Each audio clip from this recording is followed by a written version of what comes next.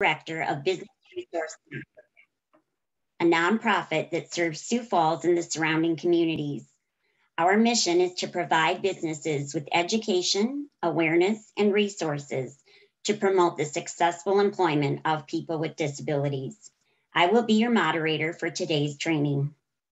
Today's training is being held in recognition of National Disability Employment Awareness Month, or NDEAM. The theme for NDEAM 2021 America's Recovery, Powered by Inclusion, reflects the importance of ensuring that people with disabilities have full access to employment and community involvement during the national recovery from the COVID 19 pandemic. NDEAM is held each October to commemorate the varied contributions of people with disabilities to America's workplace and economy. Now I am pleased to introduce Jeff Griffin, President and CEO of our Greater Sioux Falls Chamber of Commerce, who will share some opening comments. Jeff moved to Sioux Falls after 10 years of serving chambers in Peoria, Illinois, and Wooster, Ohio. Prior to chamber work, Jeff developed rehabilitation and education programs for troubled youth and families for 17 years. He graduated from Ohio State University with a BA in criminology and the University of Texas at Arlington with the MS in social work. He is a dynamic leader with 25 years of executive experience in nonprofit management and possesses the unique strength of effective leadership at the intersection of business, government, and community. Jeff serves on the U.S. Chamber of Commerce Institute Midwest Board of Regents, Mid America Chamber of Commerce Board, Sioux Falls Development Foundation Board, and has been a Rotarian for 10 years.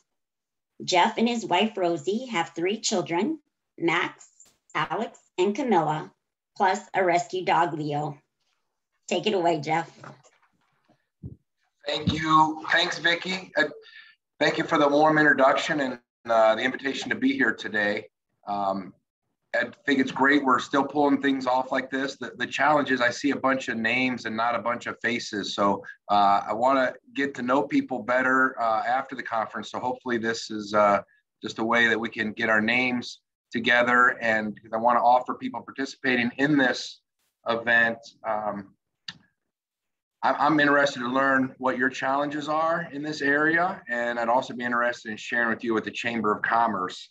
Um, where our positions are.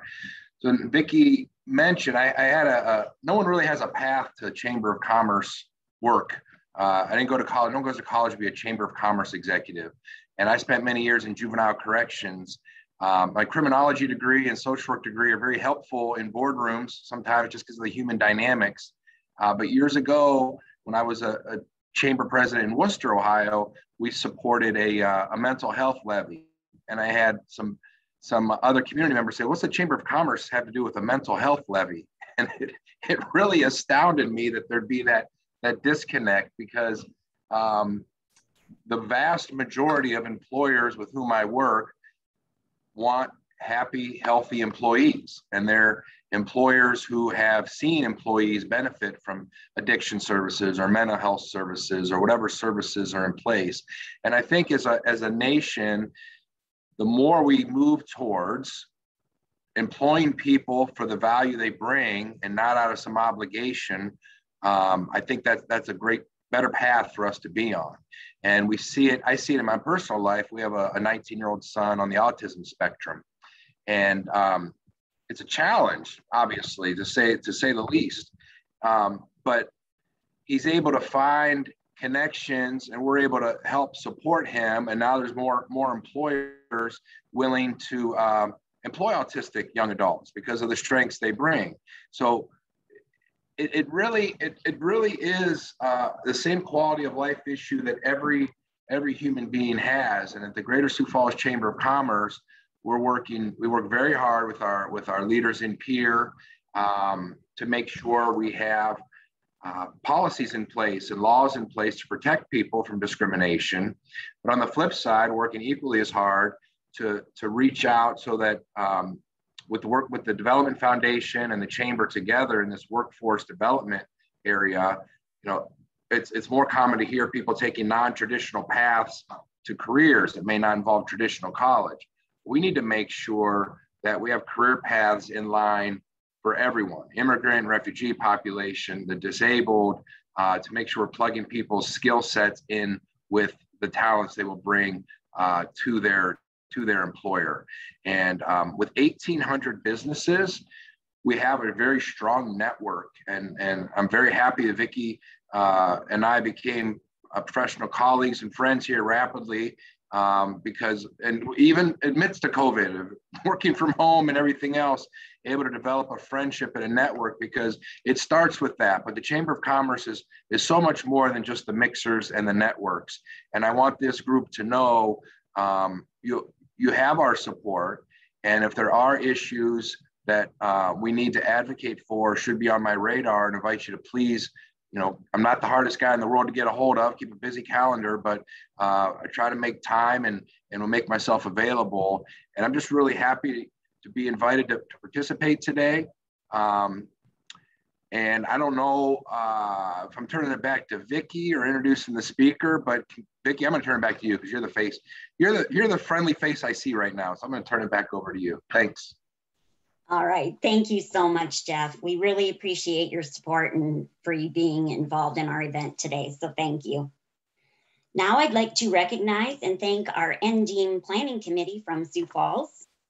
Committee members include Vicki Nelson, Division of Rehabilitation Services, Pat Herman, Center for Disabilities, Carrie Bamsey, the Bank Corps, Don Backer, Rehabilitation Center for the Blind, Chastity Colton, Goodwill of the Great Plains, Kendra Gottsleben, Center for Disabilities, Dawn Ingalls, Raven Industries, Kelly Hoglid, Service to the Blind and Visually Impaired, Tana Burish, South Dakota Parent Connection, Kendra Tiff, Southeastern Behavioral Health, Jennifer Erickson, Una Dolcesa Vita, Pam Brown, Call to Freedom, and Amy Stabe, Rehabilitation Center for the Blind.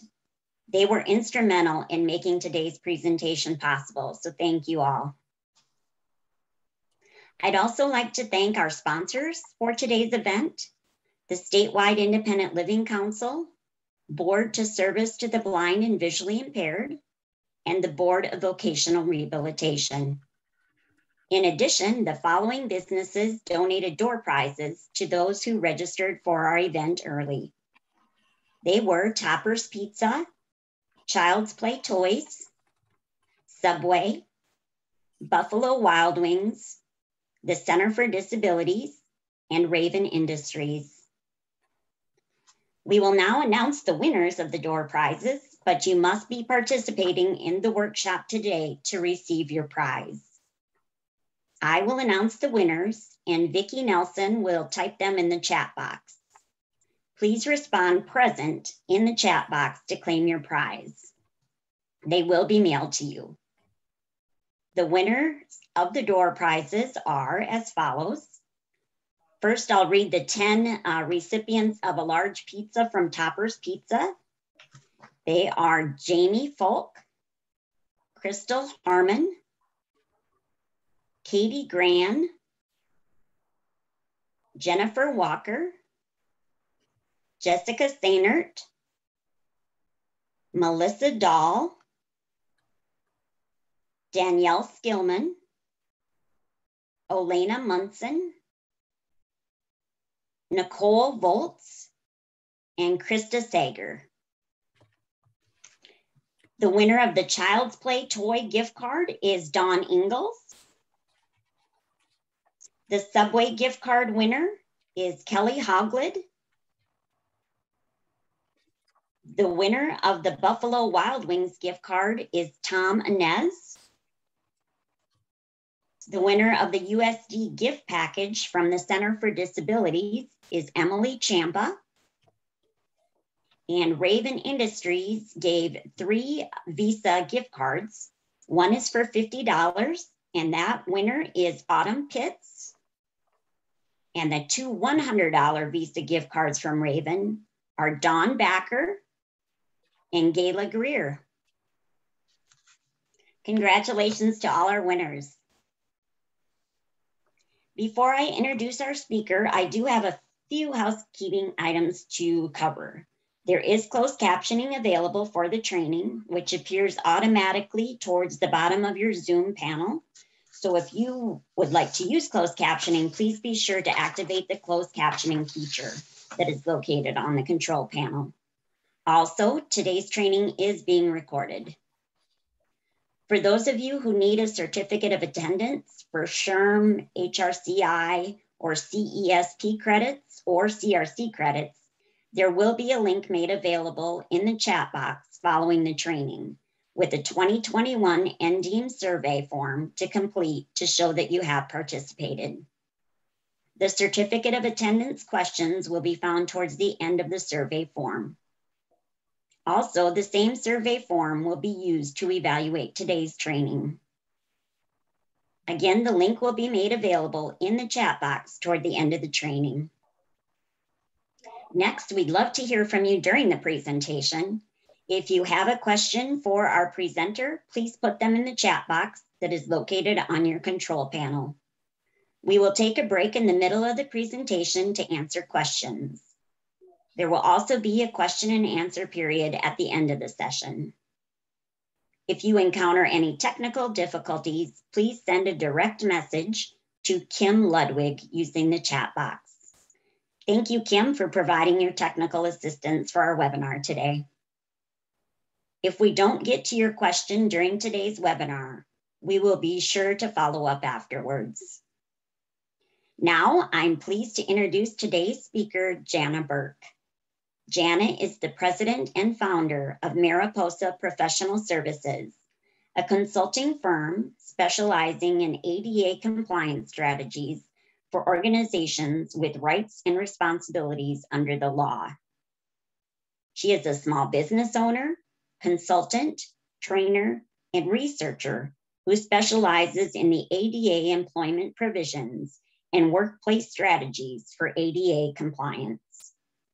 After 18 years in the field, Dr. Burke remains committed to helping transform how organizations do business by providing strategic planning and visioning for creating disability diversity and inclusion. So without further ado, I'd like to welcome our presenter, Jana Burke. Good morning, Vicki. Thank you so much for having me this morning and inviting me to participate. Um, I've, I've had the, the fortune, the good fortune to work with South Dakota for pretty much the entirety of my career. And uh, I always love coming to your events because there's so much collaboration and community partnership. So it's wonderful to see so many familiar names.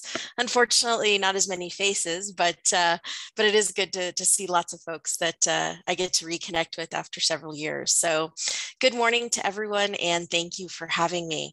Um, I'm going to go ahead and uh, share my screen since I did prepare a uh, presentation, a PowerPoint presentation for the group today. So bear with me just one sec while I get that set up. There we go. Does that look good on your end, Vicki? I just want to make sure. Yes, looks great. Perfect. Great.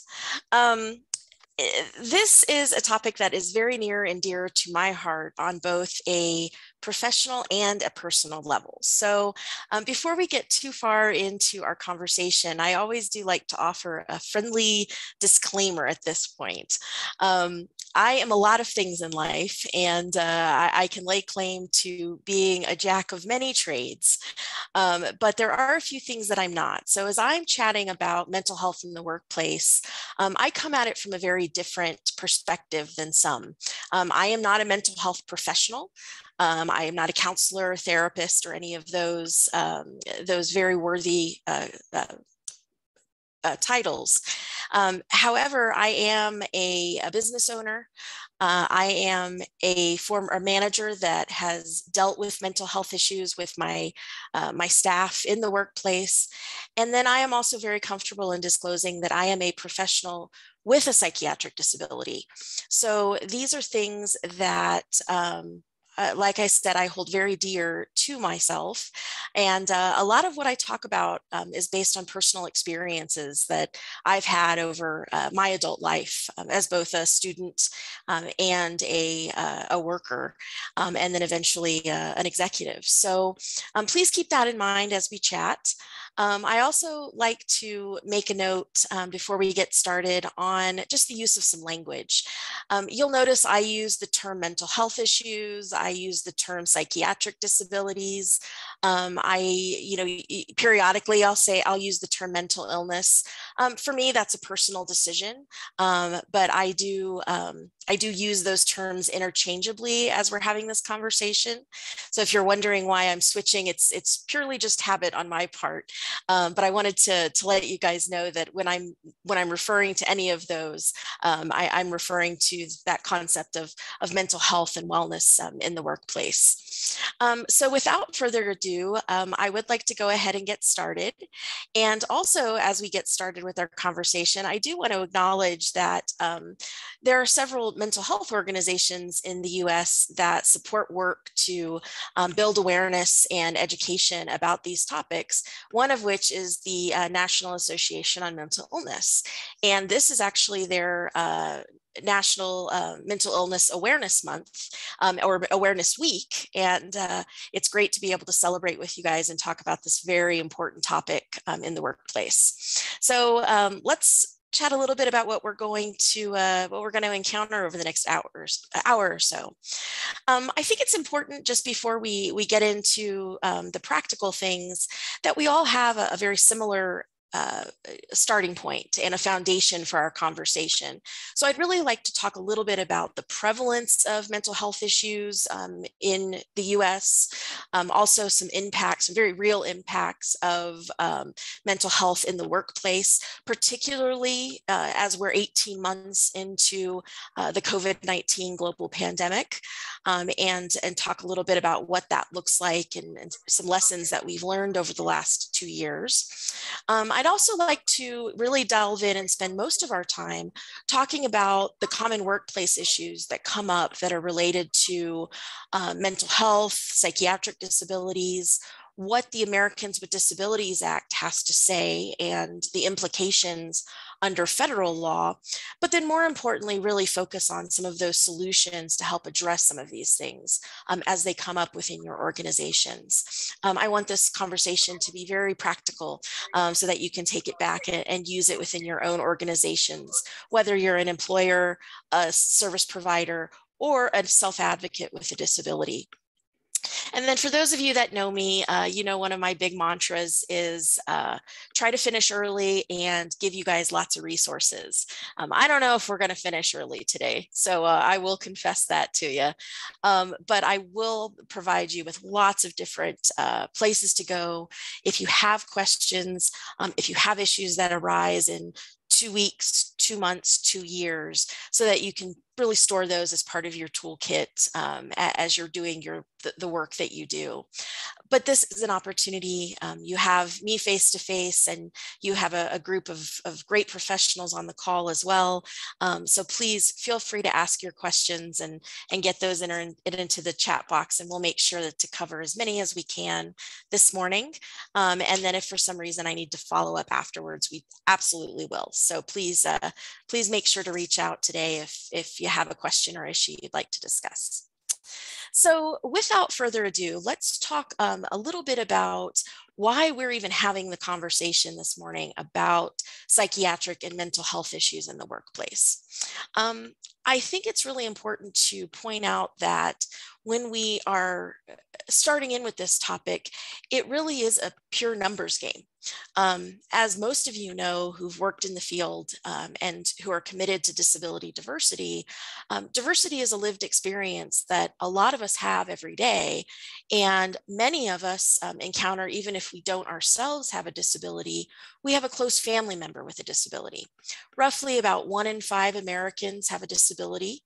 Uh, one in three of us have a close family member, that's spouse, parent, sibling, child, um, uh, or a grandparent or parent um, with a disability. So over a third of our country is, is impacted by disability in general. And then of course, we all know that disability is one of those uh, diversity categories that we can join at any time um, whether it's an accident, uh, diagnosis, it really is a, a, common experience. And that applies also for uh, mental health conditions. Um, so uh, before we go too far, I, I do want to give uh, a little bit of, of definition for what's considered a mental health impairment or a psychiatric disability or a mental health issue. And it's basically um, any disturbance in an individual's um, thought processes, behavior, uh, emotion, um, cognition, and, and uh, information processing that is a dysfunction of either psychological, biological, or developmental processes um, that underlie their mental functioning. And according to the Diagnostic and Statistical Manual for uh, of Mental Disorders, um, which is kind of the Bible, so to speak, of, of psychiatric disabilities, uh, mental disorders are, are usually um, associated with very practical things like um, distress in social activities, uh, self-care, and then of course, occupational or work-based activities. So there is a real connection between um, someone's mental health functioning and potential impact in the workplace. And we'll talk about what that looks like. The fact of the matter is, is that um, despite persistent stigma and um, lack of, of, information just across the general public, um, psychiatric disabilities are very common in our country. Um, and these this is a, a graphic that I, I, like to share just because it's it's pretty to look at.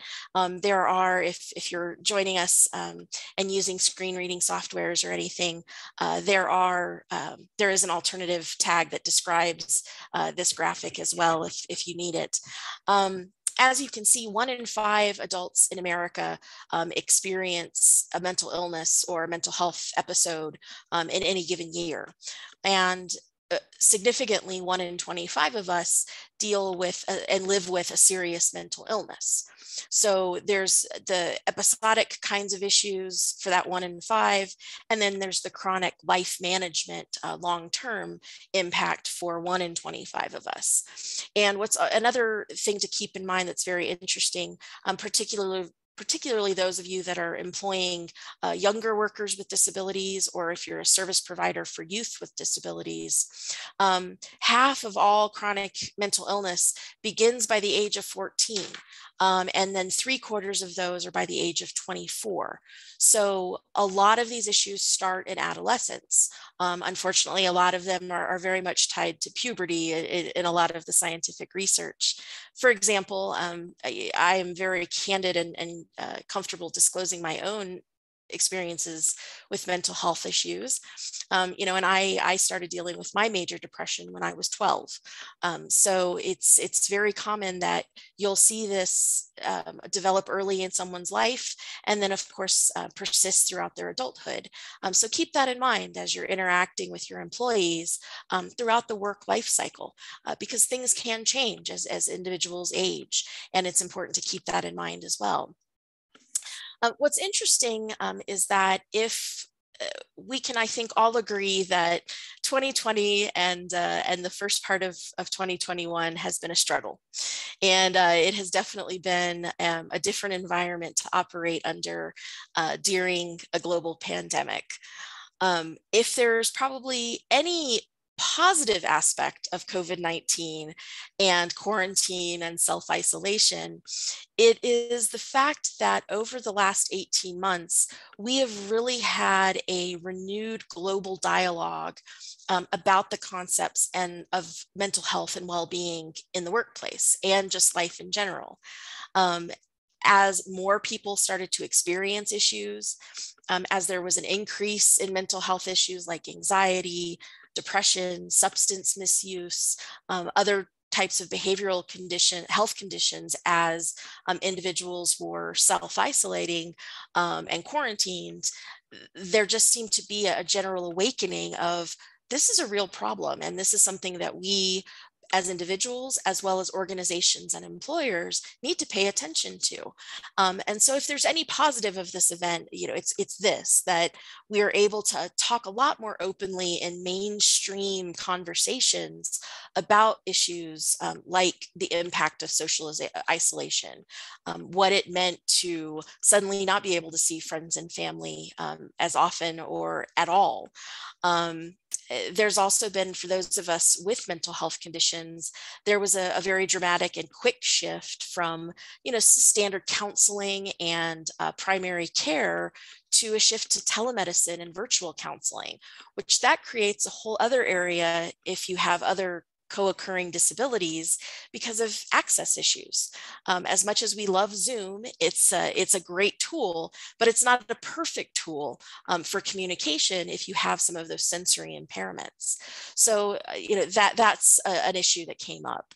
And then, of course, probably the biggest conversation we've had, particularly um, involving women, um, is that work-life balance being able to juggle everything while we're um, at home and um, by our, you know, re, you know, uh, insulated within our own uh, families and households, and how to be a teacher, be a worker, um, manage yourself, you know, try to have a little bit of, of social interaction with people. It, it proved to be quite burdensome. And so there's been a lot of conversation recently about that work-life balance. And then of course, you know, as we, as you know, Vicki highlighted in her introduction, um, the ending uh, the NDEAM theme this year is very much focused on America's recovery. And there still continues to be some financial insecurity for a lot of folks, um, housing and food uncertainties, um, those kinds of things.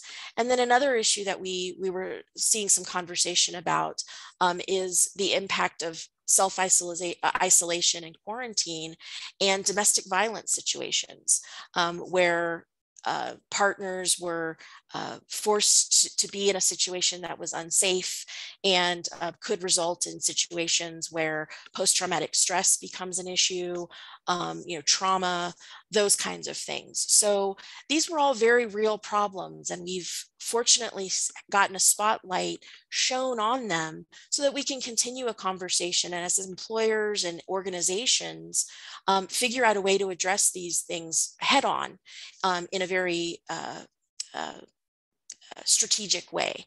Um, and so if, again, if there's any positives, it's that this, the visibility of, of mental health issues across the country has greatly increased um, over the last year or so.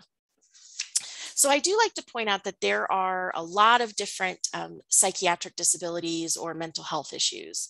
And I offered you the, the clinical definition of a mental health impairment, but these are just a few of the, the more common diagnoses that um, you'll, you'll encounter in the workplace as people disclose that they have a disability to you um, or you know, discuss some work limitations that they're experiencing because of mental health.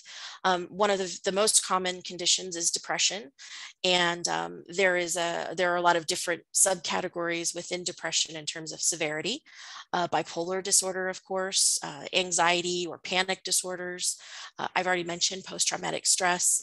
Um, some people call it disorder, some people call it syndrome. Uh, PTSD, of course, is, is a common acronym that we recognize. Um, personality disorders, um, there's a whole category of, of conditions that qualify as that. Um, obsessive compulsive disorder or OCD. Um, then you have your, um, you know, your behavioral kinds of things like uh, attention deficit hyperactivity disorder or attention deficit disorder, ADHD or ADD. Um, then there's seasonal affective disorder, um, which is a, a depression that's very closely linked to circadian rhythms and seasons um, as there's different exposures to, to light and uh, vitamin D. And then, of course, um, a whole category of psychiatric conditions deals with substance abuse issues or substance misuse issues, um, including alcoholism and drug abuse recovery. So this is a very broad spectrum that we're talking about today, and um, it, it very much is a spectrum. You'll have people that may have the same diagnoses, but very different practical implications of that within their own lives. So it's important as employers and service providers that we recognize that if someone does disclose a condition, um, we don't make assumptions and, and judgments um, based on just that that label um, that there can be very different things that that are involved in that diagnosis or that condition for the individuals. Um, so as, a, as an example, um, I just wanted to share some common side effects of mental health conditions that have potential impact in the workplace. Um, but be aware that this is just a list and this is just a, a sample. It's a bit of a tip of the iceberg kind of situation. Um, and each individual will have their own uh, own struggles and their own things that they manage and deal with.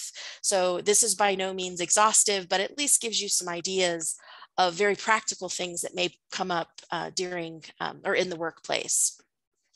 Sleep disturbances, of course, are, are very common, both um, insomnia or the inability to sleep, um, as well as hypersomnia or uh, lack of energy and, and feeling like you want to sleep um, all the time.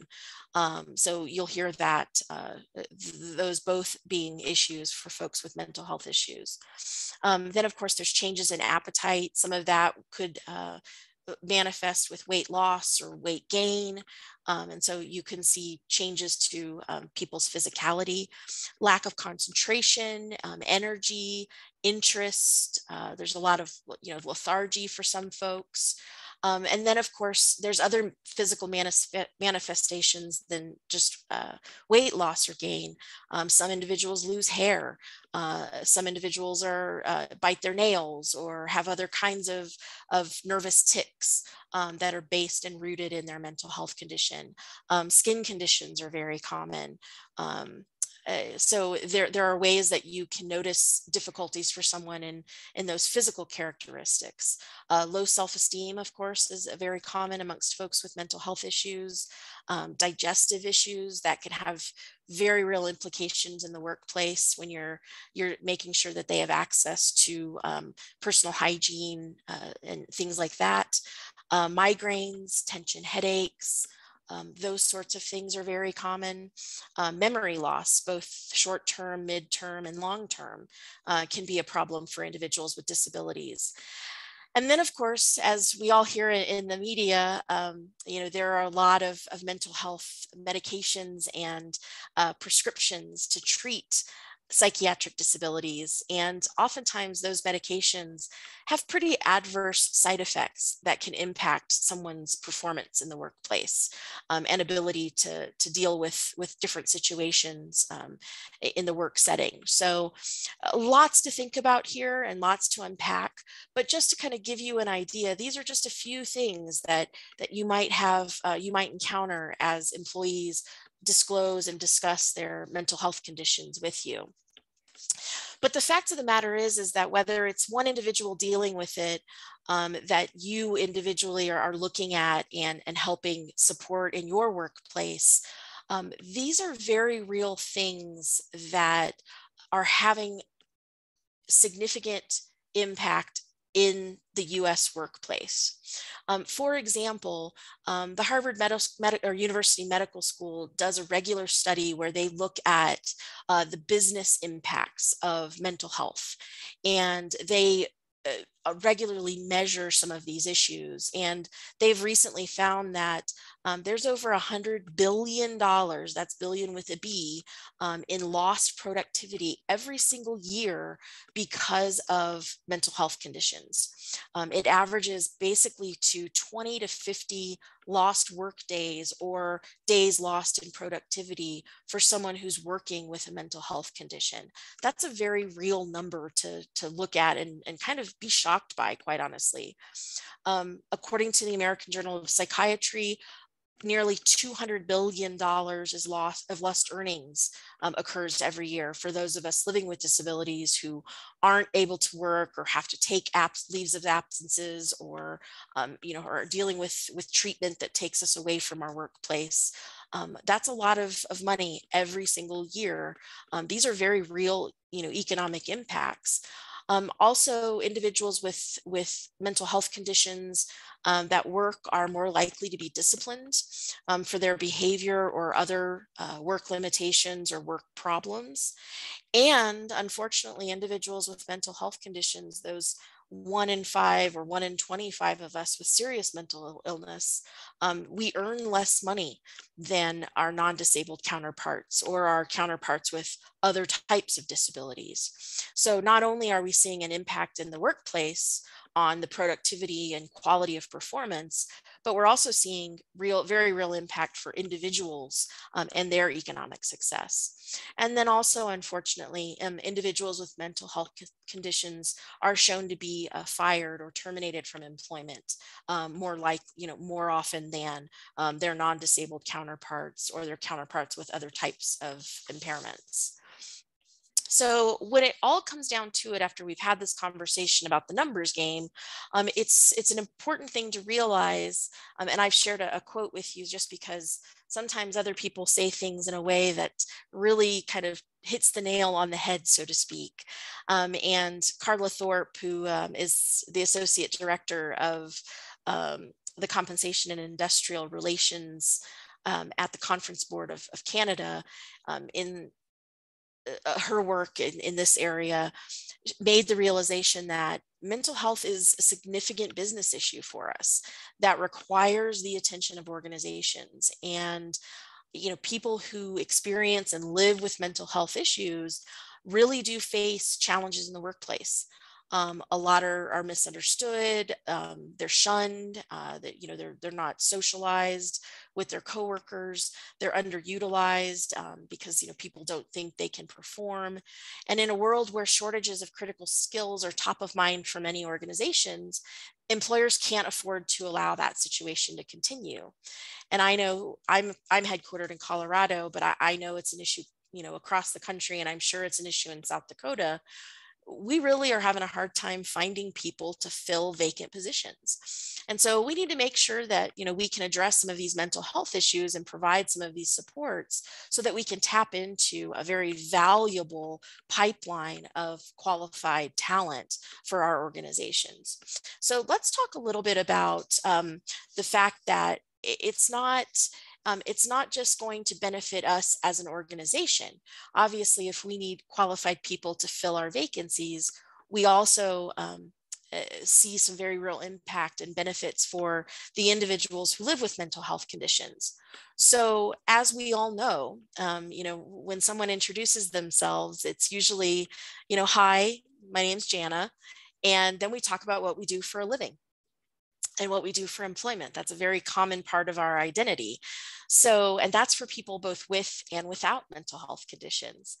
And the reality of, of the matter is, is that employment really does help with mental well-being for all of us because it gives us some time structure. Um, it gives us social contact, contact and affiliation. Um, it's it, it, gives us all sort of a collective effort and purpose as we're working towards our, our organization's goals, um, as well as our individual goals. Um, it, it's part of our social and personal identif- identity. Like I said, it's very common that when you meet someone new, you talk about what you do for a living um, as one of the very first topics of conversation. And then, of course, it's just having that regular activity that um, that routine that is so important for all of us. And I think this is another component um, that COVID 19 and, and the pandemic has taught us is the importance of all of these things when we didn't have access to them um, because of self isolation and uh, working from home and things like that. So um, keep that in mind that as we're talking through a lot of these things, yes, they apply to individuals with mental health issues, but a lot of this stuff is really beneficial for the well mental well-being of all of your employees um, and all of the folks within your organization including yourself. Um, i think if if i had any anything you know if after nearly 20 years in this field and doing this work and and after you know th- nearly three decades of living with a disability um, with a mental health issue um, I, I think what surprises me the most is that Um, in the year 2021, um, 31 years after the Americans with Disabilities Act passed, people with mental health conditions still face uh, barriers in the workplace and um, throughout society uh, because of negative attitudes and stigma that persist about uh, mental health conditions and um, and what it looks like in someone's real life. Um, I pick on the media a little bit here because I think that they are kind of to blame for some of this. Um, we hear a lot of news stories that are sensationalized when um, a, you know something happens that's shocking, and if that individual has a, a mental health condition, it's you know we instantly are taken by you know by by media outlets to the oh it must be because this person has depression or um, this person is bipolar or schizophrenic or any other thing. Um, and then of course you know there's there's the portrayal of, of mental health you know in film and, and on television and in you know in literature um, that's not always accurate. So unfortunately there's that barrier um, with attitudes that we have to acknowledge but um, the good news is, uh, you know, like I said, we're having a dialogue about these issues in a, a very different way um, after 2020 that we, we hadn't really had the opportunity as, as advocates to have, um, where it's a very real conversation about what mental health and mental well-being looks like um, that gets away from some of those, those stereotypes and, and stigma that we're used to um, uh, dealing with and, and have dealt with in the past. So that stigma and stereotype um, is really just that misunderstanding and fear that contributes to discrimination against people with psychiatric disabilities. Um, eh, we, we are scared of what we don't know. And for those of you that are in the disability field, um, this is very true across the, the spectrum. Um, individuals are uncomfortable, you know, dealing with uh, employees with certain types of disabilities just because they don't know, they don't have lived experience.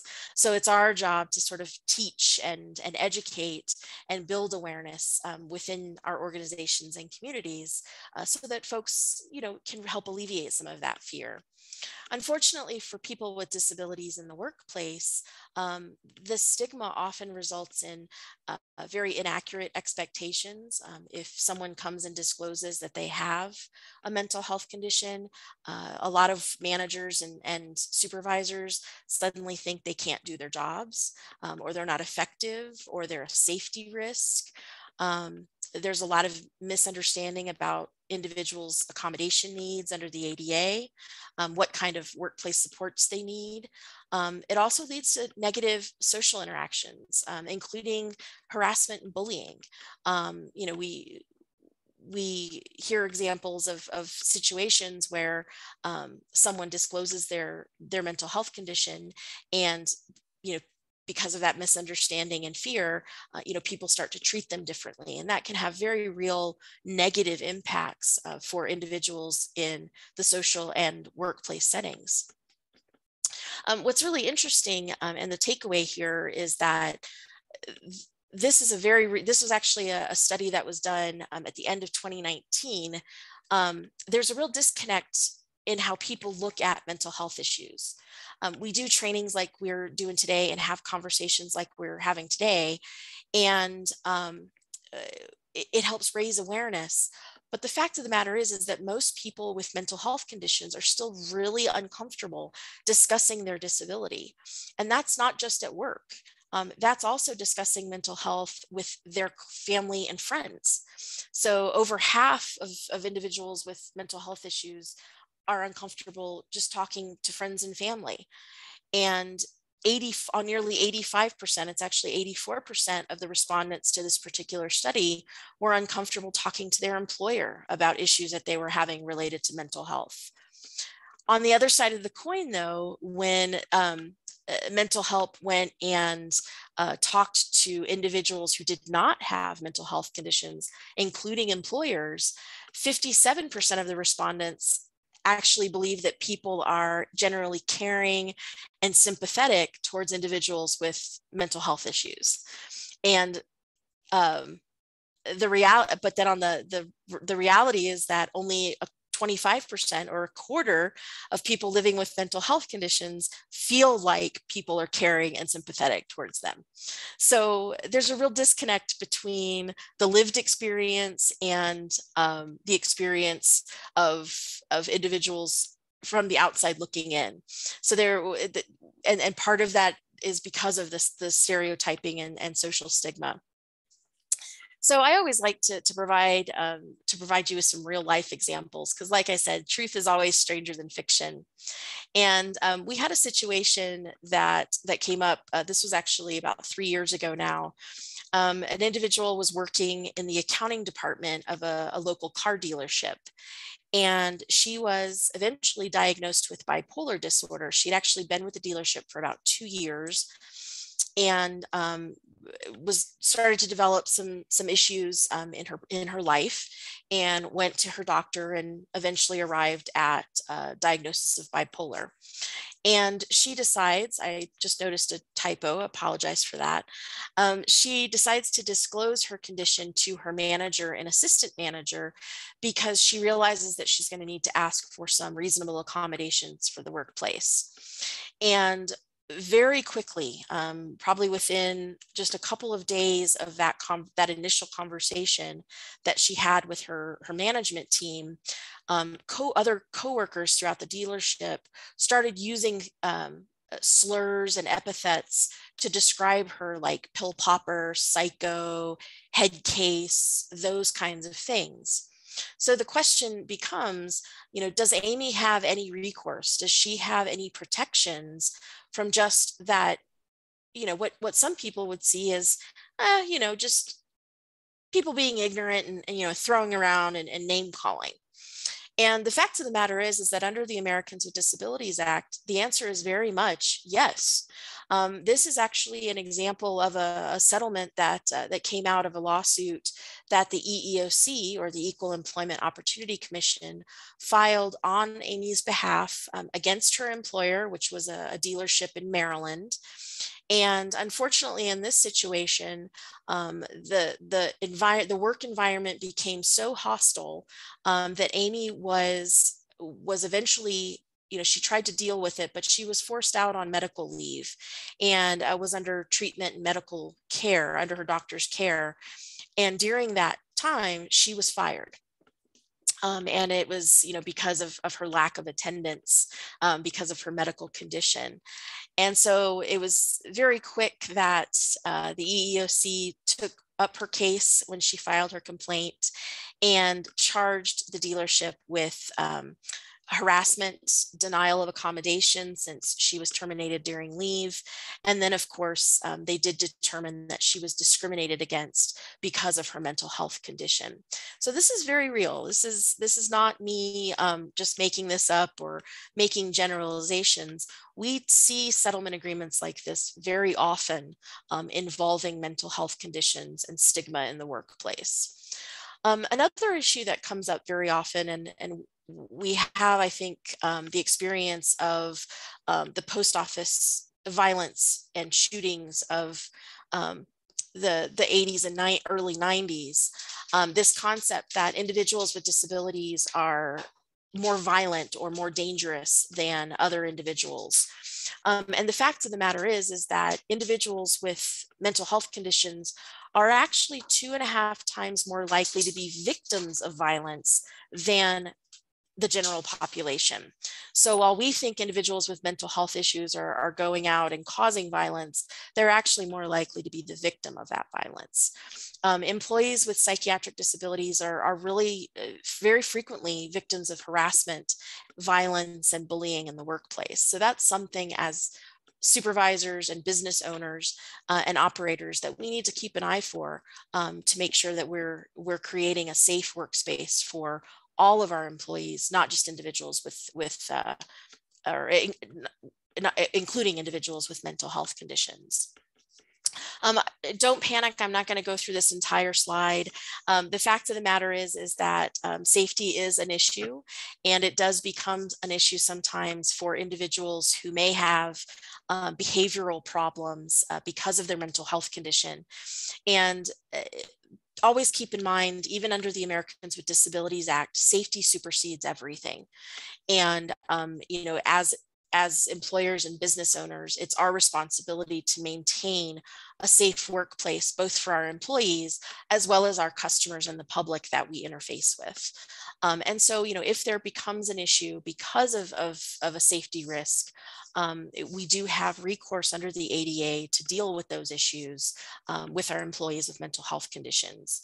But keep in mind, this is this is a very extreme, more the exception than the rule, and there are some very uh, stringent, you know, stringent requirements under the law um, with how we deal with them. So it, you know it needs to be based on on medical fact, um, you know, not just subjecture and uh, you know suspicion it has to be an individual assess individualized assessment of um, an of a specific employee's um, ability to safely perform the functions of their job, um, you know, those kinds of things. So there, there are some limitations, um, but keep in mind that just having a history of a psychiatric disability or being treated for a condition does not auto- automatically mean that the individual is a direct threat or a safety issue in the workplace. Um, and there's a lot of things that we can do to alleviate some of that risk if, if there is any that, that, uh, that exists. So for those of us that, uh, that are self-advocates, um, as well as managers and supervisors, there's a lot that we can do to help create and encourage stigma-free workplaces um, within our own organizations. Uh, I'm a little bit biased because I do this for a living, um, but I, I'm a firm believer in education um, for employees of all levels within your organization. It's very uh, easy to do brown bag lunch and learns and uh, you know put up posters in the break rooms and just little um, uh, non-threatening ways to teach our, our employees uh, a little bit about mental health and, and what that means. Um, I think that, like I said, with COVID, this has created a really good opportunity for us to be more proactive in our education efforts about mental health and mental well-being in the workplace. Um, I think it's important to also encourage dialogue and to um, make sure that we're creating that safe environment for our employees both with and without psychiatric disabilities to talk about stress and work life balance and workloads and uh, outside commitments and those sorts of things um, so that you know individuals can manage you know in the workplace in a healthy way um, I think it's also, of course, in, important that as supervisors and managers, that we discourage the use of stigmatizing language, like those terms that Amy encountered at work, you know, head case, pill popper, uh, psycho, uh, schizo, you know, any of those derogatory terms that often get thrown around quite a bit um, for that are related to mental health issues. And then, of course, if we have the resources and ability, um, it's also a, a, good piece of advice to invest in mental health benefit programs and uh, workplace wellness programs. Um, whether that's you know encouraging physical activity, um, whether that's you know access to an employee assistance program or an EAP, um, it, you know insurance that includes mental health benefits. Um, all of these things help create that culture of a safe environment for all of your workers, um, including employees with psychiatric disabilities. Um, another big component that comes up um, is related to disclosure, and I want to talk a little bit about that, and then we'll take a quick break to field um, a couple questions before we, we finish up this morning. Um, just a friendly reminder that uh, disclosure, eh, not all disabilities are visible. Um, so because of the universal symbol of accessibility, which is our little blue wheelchair man, um, a lot of, of folks automatically jump to those physical disabilities uh, when we're talking about um, the employment of folks with disabilities. But for many of us with psychiatric disabilities or mental health issues, um, those are non-obvious. Um, there's really no physical manifestation of our symptoms or side effects. So eh, keep in mind that um, you may be dealing with an employment situation uh, that mental health is at play and not realize it um, because that formal disclosure hasn't happened yet, um, or you're just not aware that there's more going on under the surface uh, than you realize. But some practical things to keep in mind um, under the statute, under you know, the civil rights law that is the ADA. Um, the ADA actually does not require disclosure. There is nothing that says that an employee or an applicant has to tell you that they have a disability, psychiatric or otherwise, um, under the law.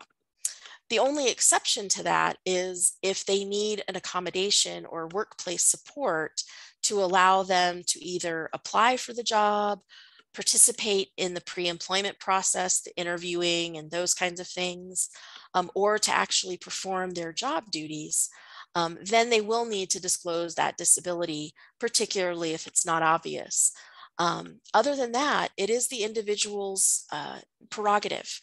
Um, disclosure is always going to be voluntary and it can occur at any time during the employment relationship.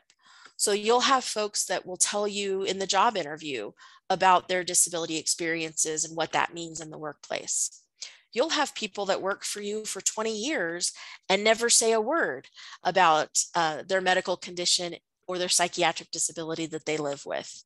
So it really can run the gamut, but an individual can share that with you at any time during their employment relationship, and it could potentially trigger responsibilities under the ADA, like providing reasonable accommodation for them. And then if you do have someone who comes to you and discloses that they have a condition, um, it's important that we don't retaliate against them um, for any disclosure related issues. So obviously we can't treat them differently um, if they have a disability.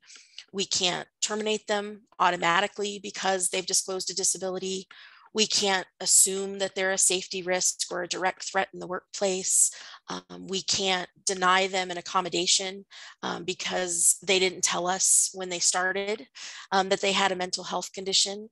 Um, we can't hold them to a different performance standard than we, we would before we knew that they had a disability. Um, these are all things that are prohibited under the ADA. So very practical things to think about. Um, if you're an employer, a few things to, or a couple things to keep in mind. If you are aware that the employee has a mental health issue and they have disclosed it to you um, at any time, um, it is okay because it is a non-visible, non-obvious disability. Um, it is okay to request reasonable medical documentation if they need a reasonable accommodation. So you can ask them to verify that they have a mental health condition to just keep as part of um, the accommodation file for HR purposes. Um, that is okay because it's not visibly obvious and you just need to, to verify that they have the condition and they have a need for accommodation, that there's a limitation that you, that you need to address. Um, however, if you do receive that information and you receive that disclosure, you need to make sure that that information stays private and confidential. Um, it's only shared on a need to know basis um, and that you respect the, the individual's privacy um, in, you know, maintaining control of who they tell about their mental health condition.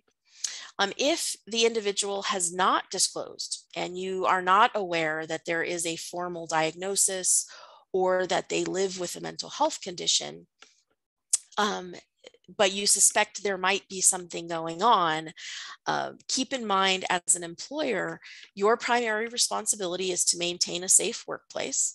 So if they, there's been a, an outburst or uh, they threaten someone, um, you can take appropriate uh, measures to discipline that behavior um, because that's a violation of, of your workplace violence policy or um, you know your behavior standards within your organization.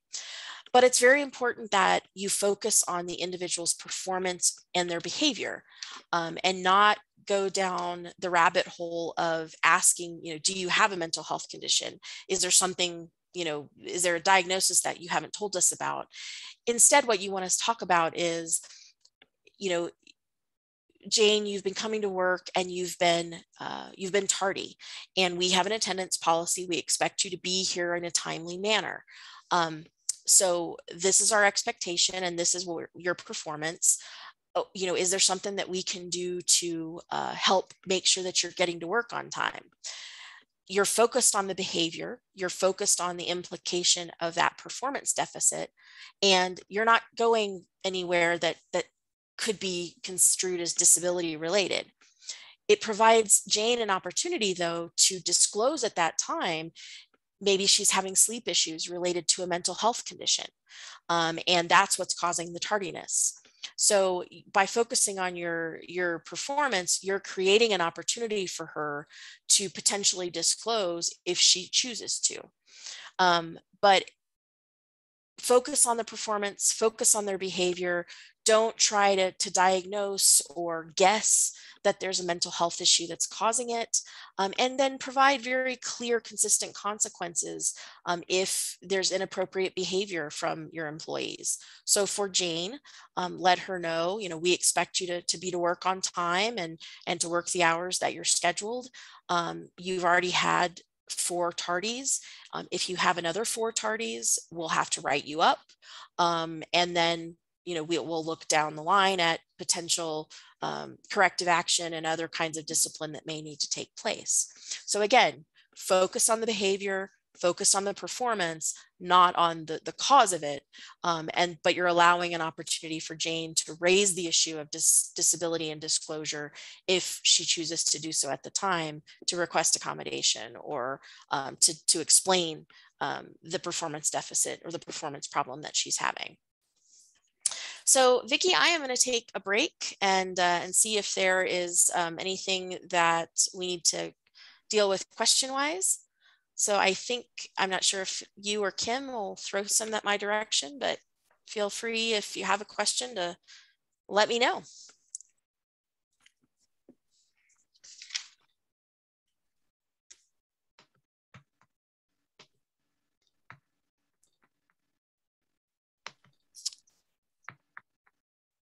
Hi, Jana. This is Kim. Are you able to hear me? I am. Okay. I don't have any questions so far, but I did put a um, message in the chat box if there's any questions for you to either put them in the chat box or if people are comfortable and coming on the screen to ask you a question, that is completely fine. So good, just give it a couple minutes, whatever you wish. And um, I did want to point out, we did have a question very early on um, about the, the, the need to take notes or, or frantically write things down. Um, and I assure you that uh, one of us will share the presentation with the audience um, after we're done today. Um, so you will have access to this. Um, I did all, I do also include a lot of resources for you. Um, and so I include links to all of those and that way you can you can get to the, that information fairly easily and fairly quickly. So um, rest assured that we will definitely um, get you this information so you don't have to frantically take notes as we continue our conversation today. All right, we actually do have a question, Jana. Um, can an accommodation be denied by the employer if not reasonable? Um, thank you for that question, Vicki. That's a very, um, very pertinent one, particularly uh, as as conditions change and and we're still trying to figure out um, how we're operating our organizations um, with folks, you know, some folks working from home, some folks in person. So that that is a very real thing. Um, ironically, I'm going to ask if I can hold off on answering that uh, for just a minute because um, the next topic of conversation involves reasonable accommodations and uh, the requirements under the ADA. And we'll definitely answer that uh, eh, that question of how to determine, you know, if, if what the person's asking for um, is reasonable and as a as a extension of that is required under the ADA. And if it's okay, since people aren't jumping on and and throwing things my way, um, we'll just go ahead and, and jump into that conversation. Um, and that way, you know, if we've got more time at the end, if, if folks want to save their questions then until then. Uh, I also realize that mental health issues are, are always a little bit of a, uh, an uncomfortable topic. Uh, I do this training, I do training about this topic a lot. And uh, I know some folks just don't want to bring questions in front of the group. So uh, I remind you, please, if, if you have a situation you are dealing with, either as a, a self advocate or as an employer or service provider, um, and you don't want to talk about it today during the presentation, feel free to reach out to me and I'd be happy to, to answer or discuss anything with you offline. So um, as I mentioned, the, the next place to, to go with our conversation is to talk a little bit about the ADA and its requirements related to workplace supports um, for those with mental health. Um, the fact of the matter is, is that, bear with me a sec, um, the ADA does have a provision for those of you that may not already know um, that for qualified individuals with disabilities, including psychiatric or mental health issues, um, the ADA requires that employers provide uh, reasonable accommodation to allow them equal opportunity um, to work and perform their job duties um, and participate uh, equally in the workplace. And the fact of the matter is, is that uh, reality shows that people with mental health issues can both contribute to the workplace and be self-sufficient. Um, and there's a lot of us out here that, uh, that can, can provide proof of that. And reasonable accommodations or those workplace supports truly do offer people with mental health issues um, the ability to be qualified for their jobs and to maintain their productivity and efficiency at work. Um, the ADA defines accommodation as any change in the work environment or the way things are done within the organization that enables someone with a mental health issue um, to enjoy equal employment opportunity. Um, that is a very generic definition by design um, because accommodations are an individualized assessment to figure out what an individual's workplace limitations are and what supports might help them the most effectively. So it is a, a dialogue and um, an interactive process, a conversation between the individual and the employer to figure out how we can support this individual so that they can do their jobs and do it productively and effectively. Um, and so it, accommodations can look very different depending on um, the individual's needs. We did learn during COVID uh, because we all had to sort of shut down and go into uh, remote work mode, uh, several lessons um, that, that apply to this. And uh, I wanted to share a couple of those. This is actually from uh, some studies that the Job Accommodation Network um, have done over the last several months um, to look at kind of how accommodations work uh, in today's current workplace. Um, the big thing to keep in mind is that flexibility is, is hugely important. So um, there may be situations if you have someone uh, with a mental health issue um, who's requesting an accommodation, you may need to adjust your interactive process a little bit. Um, you may need to um, handle things a little bit differently. Um, there, there's a lot at play and uh, we've learned quite a lot um, as we've had to sort of shift how we manage the accommodation process.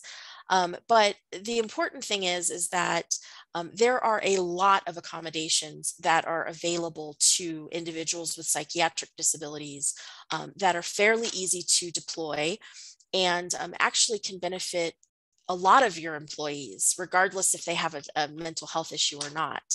Um, on the following few slides, I provide a lot of um, examples of um, ideas for accommodation. Um, I've grouped them together by the, the type of, of accommodation that, that it would be considered or categorized as. I will not go through everything on these slides just because there are so many of them. They are for your, your future reference and I encourage you to, to take a look through the bulleted lists. But kind of some of the big areas where people with disabilities, uh, with mental health issues benefit the most um, one area, of course, is workplace flexibility. And this can be flexibility in policies within your organization, um, eh, practices, the way things are done, um, the way that individuals are supervised, um, those kinds of things to allow someone with a, a psychiatric or mental health issue to fit into the workplace in a, in a more effective way. Um, that can be everything from um, how you pace their workload, uh, flexibility in scheduling, um, the ability to make um, you know phone calls to, to therapists or, or uh, uh, treating physicians, you know, during work hours, uh, breaks, you know, providing training on conflict management um, or conflict resolution, uh, lots of different categories um, of accommodations that help provide more flexibility if it is needed by someone with a disability. Um, we also deal quite a bit um, because you are providing accommodations and adjustments and supports for uh, workers um, with non-obvious disabilities a lot of times an issue that comes up um, involves coworker resentment. Um, you get folks noticing that uh, maybe someone else has access to a support that they haven't gotten. And the very first question is, well, why does why does this person get to take an extra break in the afternoon? I don't get an extra break. Um, and so it, it's very important to keep in mind if you're as a supervisor, if you're fielding those types of questions, um, maintain the, the confidentiality and privacy of the worker with a disability. And this applies whether it's mental health or not. Um, the ADA prohibits you from sharing that information with coworkers. We need to make sure that um, that we're not oversharing uh, about someone's potential medical condition and there's a lot of things you can do to address these concerns. Um, you know you can you can say that you're acting for legitimate business reasons. You're um, acting in compliance with various federal and state labor laws. Those are all generic enough that you're not triggering a disability conversation or disclosure. But my recommendation and what I've used in the past as a manager when I've dealt with this kind of, of resentment issue is I communicate with my staff that I try to support the needs of all of my employees. And I actually turn it back on them and say, what can I do to support you? What do you need to be able to do your job better? It gets the, the focus and the spotlight off of their coworker who may have a mental health condition. And it, it talks about what their needs are. And it shows that I'm supportive of them and I'm willing to, to do what I need to do, whether the ADA is involved or not, whether it's a disability issue. Um, but it's, a, it's an effective little tool. It's very subtle, um, but it's something that really kind of helps diffuse tensions when um, there's some of this coworker resentment. It's also really important to educate your staff and your organization that accommodation is not preferential treatment. Um, it's a workplace support. Um, it's, you know, obviously required under the ADA and, um, and just help educate and, and let them understand the purpose behind providing accommodations for all workers. And when possible, if you can, extend certain accommodations to all employees, regardless if they have a, a disability or not. For example, if you've realized over the past 18 months that working from home is a real possibility for your organization, allow that for all of your employees, not just individuals with disabilities um, who may need that for disability related purposes, but because it might be the best business decision. It might make good business sense, not because the ADA requires it, but because it's just the best thing to do from a business perspective. And that's okay too. Um, another category that, that comes up very often related to reasonable accommodations are accommodations um, in how we supervise or manage someone with a mental health condition. Um, as I mentioned, some of those side effects um, involve like memory, uh, process information processing, those kinds of things. So putting, you know, putting uh, uh, uh, instructions in writing, um, providing you know follow up to meetings and conversations with an email um, maybe having a little bit more structure for some employees than your others uh, one-on-one supervision um, these kinds of things can really help someone with uh, a mental health condition be able to manage their daily workload so there may be a call to action for managers and supervisors to get involved and tweak how they do things a little bit um, to address the, the needs of someone with a mental health condition. Um, there's also modifications that you can make to the work environment, um, both, uh, you know, basically the physical space that someone does their jobs. Um, uh, you know, modifying the work area so that they have minimum distractions. Uh, maybe placing, if you have a cubicle situ situation where there's a lot of background noise, uh, maybe putting someone who has ADD or ADHD that gets distracted very easily, maybe putting them in the back of the workspace so they're not near the entrance where there's a lot of traffic. Um, maybe it's allowing them to use um, equipment like white noise machines or um, other kinds of technology that can help with minimizing um, distractions. Um, for some individuals, they can uh, uh, uh, they can be triggered or or have adverse reactions to um, noise or uh, smoke, um, heavy you know heavy odors, um, fluorescent lighting can trigger migraines and things like that. So you, you can obviously you know make modifications to your workspace that address some of these environmental issues. Um, another common one that comes up is um, if you have someone who's a service animal user or um, in the workplace, even emotional support animals uh, may sometimes come into play as, as a reasonable accommodation. And then, of course, uh, another common one related to flexibility is that remote and work from home opportunity where you can, um, you know, make sure that you're supporting them with what they need at um, a, a uh, remote work location um, to address any workplace limitations that they're having because of their mental health issue. So uh, again, these are broad categories with some specifics that you can uh, can use, but the gamut, it really does run the gamut in terms of types of, of accommodations that are available.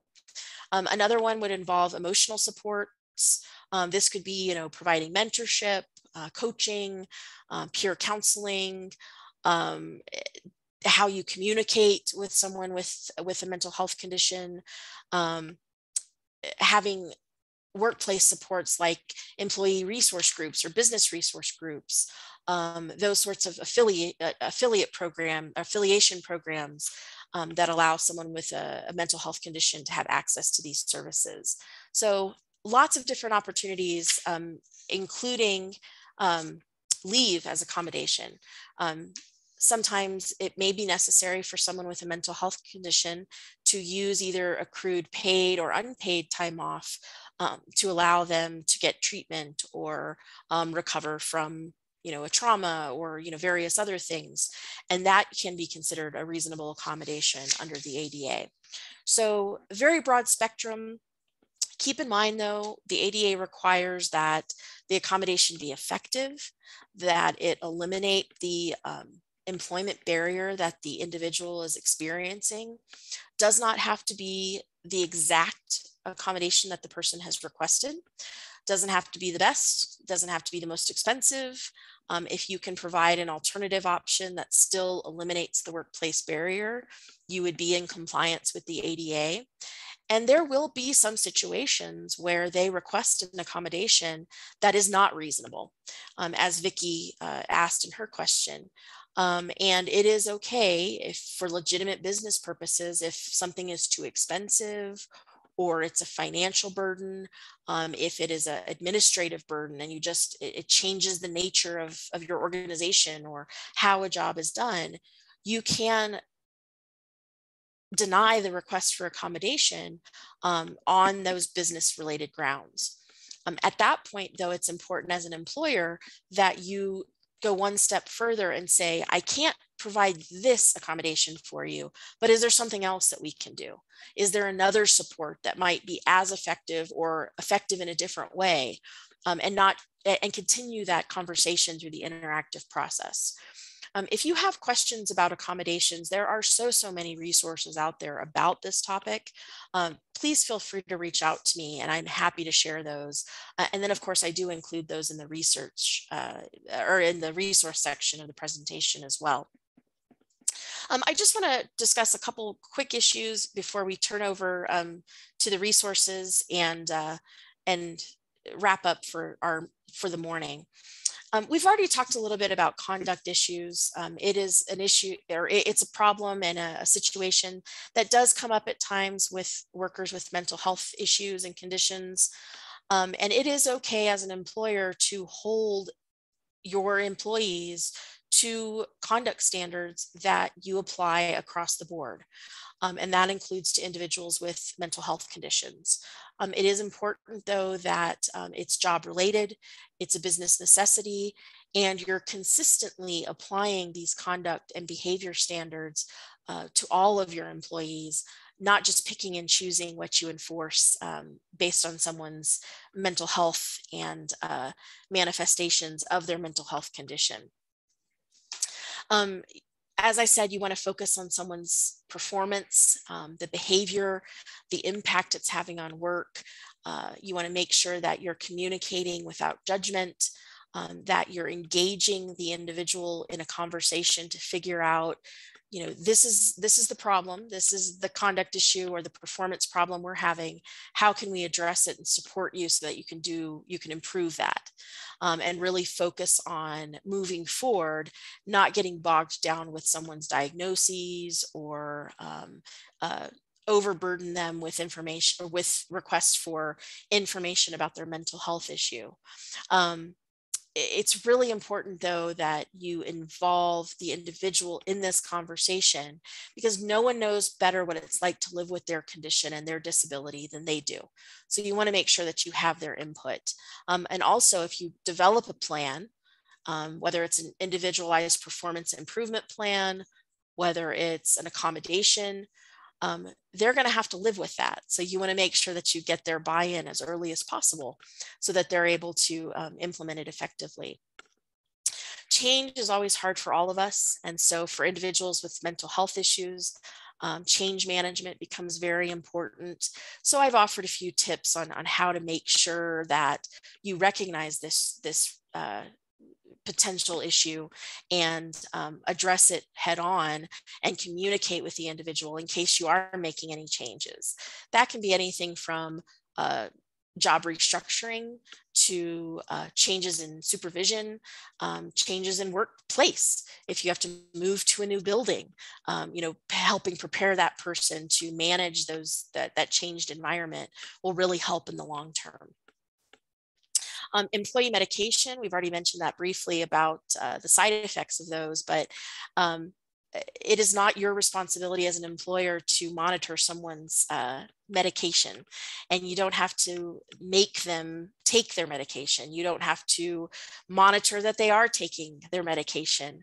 Um, that is well above and beyond the call of duty um, and that is more of a personal service which is not required under the ada um, however, if, if you're starting to see performance issues because of uh, side effects of a medication, um, the same advice holds true here.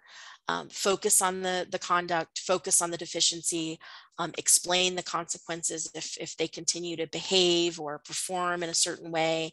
Um, and then it's up ultimately the employee's decision how they want to uh, react and respond um, to that and, and whether they want to make improvements or, uh, you know, take their medication more regularly or things like that. Um, and then in the meantime, I always offer, um, you know, a little bit of, of, humor into the world as a person who lives with this every day. Um, there are also a lot of, of coping strategies and self-advocacy um, that you can do within the workplace for yourself as an individual with a mental health condition. And, uh, you know, I always joke that, you know, some days I, I wake up and I can conquer the world. Um, and other days uh, it takes me two hours to, to shower um, so, you know, it, it ebbs and flows for me as an individual. And then there's sometimes that you just have to, you know, like the, the cat in the meme in the presentation, sometimes you just have to tell yourself you're a shark and really go and attack your day. So um, it, it, there's a, a few things to consider as a self advocate. Um, I encourage individuals to stand up and tell your story. I mean, if you're comfortable there and, and you've reached a point in your recovery or your self management, you know, to to really be a self advocate and stand up as a, a leader um, to help raise awareness and, and address some of that stigma and stereotyping that happens. Um, because then at that point, you become kind of a beacon for other people who are li living um, with mental illness and mental health issues um, and and you you offer some some hope that uh, that things are going to be okay. Um, it's also important though to recognize that you do have limitations because of your mental health condition, but you also have a lot of strengths that you can bring into a, workplace, and you can communicate that with your supervisor and your managers. Um, do your research and keep learning and and sometimes it, it really is just getting through a day at a time. Um, but also make sure that you're extending yourself and other people that you encounter uh, in your workplace who may be dealing with mental health issues a, a little bit of grace. And uh, you know humor never helps or never hurts a thing for sure. Um, a couple of resources for you and then I'll jump over to the chat because I see we've got a couple questions that have come in. Um, I have dumped a ton of resources for you. There are a lot of publications out there about the ADA and psychiatric disabilities that I've included um, for you in the presentation. Um, also information from the EEOC about performance and conduct, um, psychiatric disabilities, your rights as someone living with depression, PTSD, and mental health conditions, um, reasonable accommodations and undue hardship, um, and then leave in the ADA. Uh, I encourage you, if you haven't used the Job Accommodation Network before, go take a look at their website. They are a fabulous free resource to tap into um, if you're doing work in this area. Um, in particular, they have an A to Z of disabilities and accommodations on their site so if you're dealing with someone with a different type of, of mental health or psychiatric disability, most likely they have a resource out there on how to figure out um, how to uh, how to accommodate them in, in your workplace. Um, they actually have specialists on staff who are cognitive uh, specialists um, who can help come up with individualized accommodation solutions for you as well. Um, so if all else fails, reach out via email or, uh, or give them a call on their hotline. And then I, I don't like to just dump boring uh, legal stuff on you. Um, you know, there, there are some great books out there about living with mental health, managing mental health in everyday life. Uh, I'm a, a, fan of Jenny Lawson. She's she's wonderful and she makes me laugh. So uh, I like to always share her her book as, something if you're interested in jumping into. Um, there are some there are a lot of COVID-19 and mental health um, resources out there. Uh, I've included those from uh, NAMI. Um, Mental Health America. And then the CDC also has a, a great uh, landing page about supporting uh, worker uh, mental health during um, the pandemic. So uh, great resources for you to take a look at if this is something that you're, you're dealing with in your organization. Um, if you're an individual or you work with individuals with disabilities, a lot of tools to help you figure out when to disclose, how to disclose, um, because so many mental health conditions are non-visible, we have a lot more prerogative and um, and and freedom in our disclosure processes. So here are some tools for you to use um, to to make the decision whether and how to disclose to a, an employer. Um, there's also a, a, tools that are available for both employees and employers um, regarding accommodations and how to manage that process. Um, I've included links to quite a few of those for you as well. Um, and that way you can check those out if you are interested in that. Um, if all else fails, there are lots of organizations you can reach out to about this topic. Um, anything that you have with the ADA centers uh, or the with the ADA and questions, I encourage you to reach out to um, the regional center here in in Region 8, which is the Rocky Mountain ADA Center. Um, you can get in touch with them through the 800 number or their website. Um, and then, of course, various um, mental health organizations and uh, mental health promotion uh, in the workplace for you to take a look at. Um, if nothing else, you've had a chance to meet me and get to know a little bit about me, and I am happy to uh, follow up with anybody. Um, but I, I do want to point out as we wrap up uh, that Lila offered a, a great insight that um, hiring people that live with disabilities, uh, obviously including mental health as well, is an investment with them and can also be a positive experience for employees that are not living with disabilities. And that is very true, Layla, uh, or I'm sorry, Lila. Um, it really is you become an ally if you don't have a disability, um, but you also become a, self advocate that can really affect change within organizations um, and really help raise awareness of disability issues. Um, so it really it is a win-win situation. It's a very bottom line um, improvement for all of our organizations if we hire folks both with mental health conditions and with other types of disabilities as well. If there's any other questions, um, feel free to put them in the chat. If I know we're against the hours, so um, I encourage you to reach out to me if you'd like. I'm pretty easy to get in touch with. Um, you can give me a call, you can shoot me an email. Uh, feel free to connect with me on LinkedIn. Um, Eh, I also maintain a, a, Facebook page for my business. So if you're interested in mental health and employment, I, I tend to share quite a few resources about this as well. So uh, I'm around and I'm easy to find and uh, feel free to reach out if you have any questions or issues or you need resources or anything like that. I will turn it back over to uh, Vicki, Kim, or who else, or whoever else is going to take over. Yeah, hi, this is Kim. Um, I'll just kind of close up or wrap up um, today's uh, presentation on behalf of Vicki Stewart.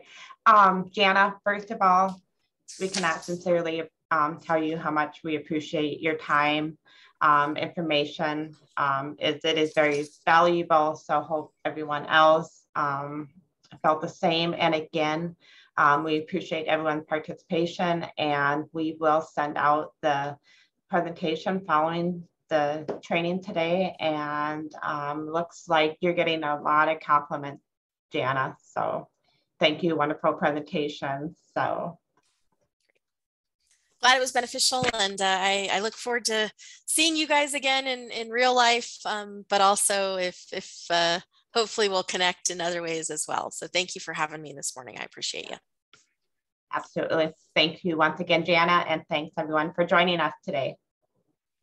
Thank you. Take care.